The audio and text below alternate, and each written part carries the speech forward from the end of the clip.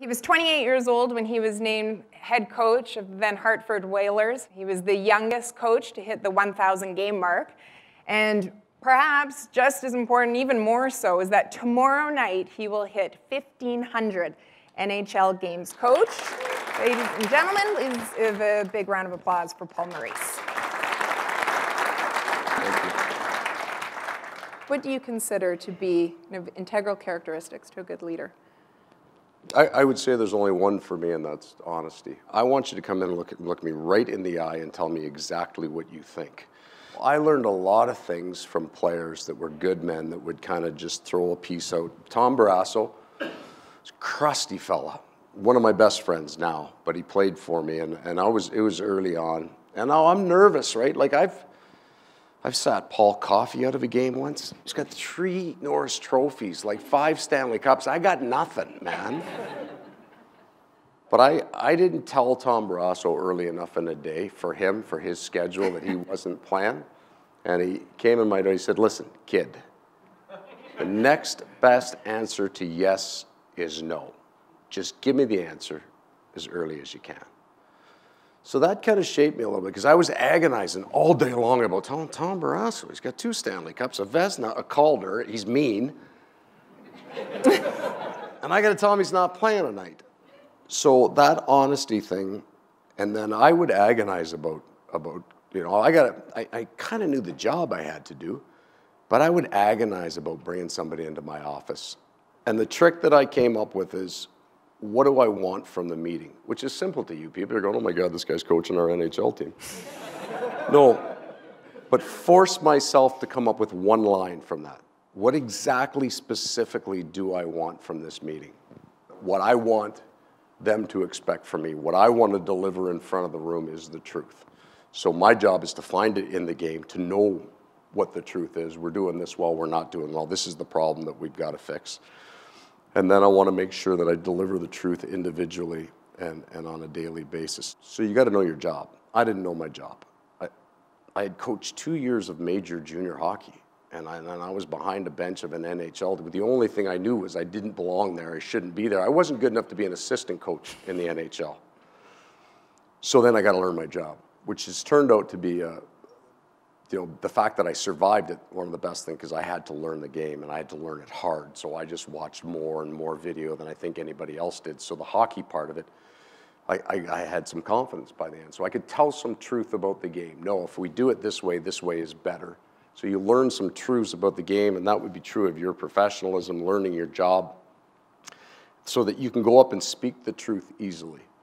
You've touched on it in some of your media answers or interviews is about the need to give or the benefit of giving everybody a purpose. How important has that been kind of in right. your teams to make sure that everybody feels as if they have some sort of role in getting the Winnipeg Jets or whichever right. team you're coaching at the time so the, the, next step? The most important thing between a coach and a player is that we agree on what you're good at. I don't, I don't know if that translates to your line of work, but so if Sarah thinks she's a 50 goal scorer. And I, I think Sarah's a grinder. All right, she can. She's a real good defensive player. She blocks shots. She can drop the gloves. She can do those things.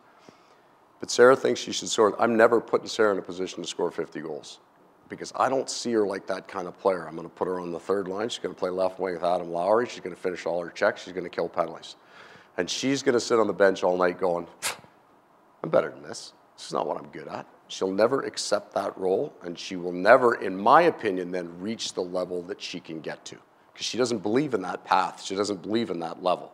My job then is to individually, as each player, is to agree on what, what we think you're best at and put you in a position to be as good as you possibly can be. And then I got to make the exact same decision about our team. What are we good at? Decide what we're good at, and then practice them and train them in a manner that allows us to be good at. You slow your team down when you give them too many things. Find out what you're good at, true of an individual or a group, and run hard with that. The two overarching rules for the Winnipeg Jets is we're going to work our asses off and we're going to enjoy the year. I want to enjoy my life. I want my players to enjoy their life, their families, all of it. With an intense environment and a pressure filled environment, I still want to be able to come to work and enjoy my day. I didn't have that feeling when I was younger because I wasn't enjoying it. And I also, I had nothing to relate to these guys with. Half my team was older. I didn't have any kids. I couldn't get what we were doing. Now I've kind of been through what they've all been through. Like my kids are older than some of them now. Honesty is the big, the big thing for you, and, and I want that clearly. I, I want you to, it and certainly enjoy your life. We, we talked a lot about what you've learned over the years with dealing with players, but how about what you've learned dealing with management and dealing with your general manager? And what would you do differently if you put yourself, That's if you were one. back and you were 28? I don't get that one very often. That's a good one.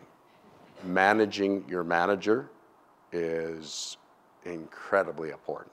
Being aware of the pitfalls they face based on the job or the comments that you make shorten your lifespan or extend your lifespan. Absolutely.